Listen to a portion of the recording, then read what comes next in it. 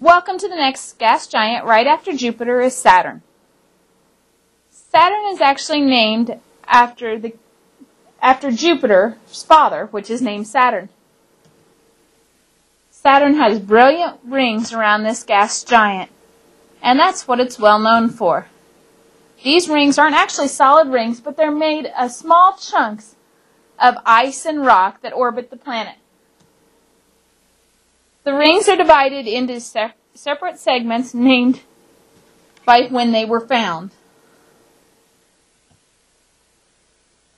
We see the rings so brilliantly because they ref- refract the sun's light, reflect the sun's light back to us. But they're no more than 200 meters thick.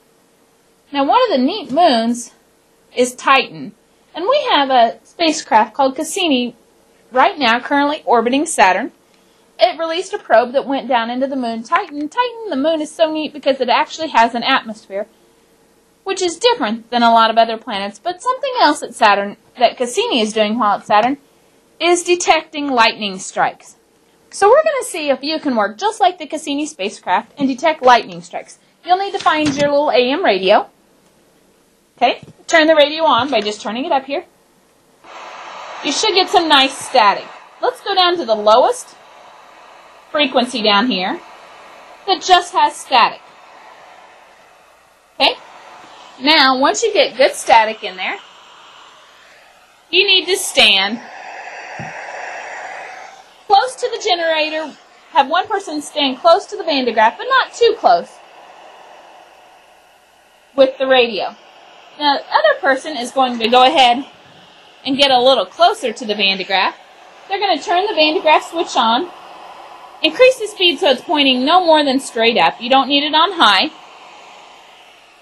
And then they will use the discharge bulb to cause a lightning strike. So you turn it on. You increase the speed. I might need to go a little more than straight up here. Not full blast. Okay. Let it go for just a minute. Now if you aim this a little closer,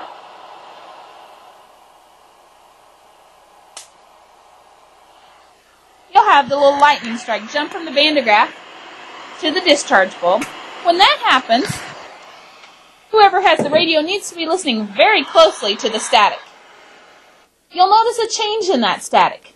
Now, can you get that static on any other frequency? Change the frequency on the radio.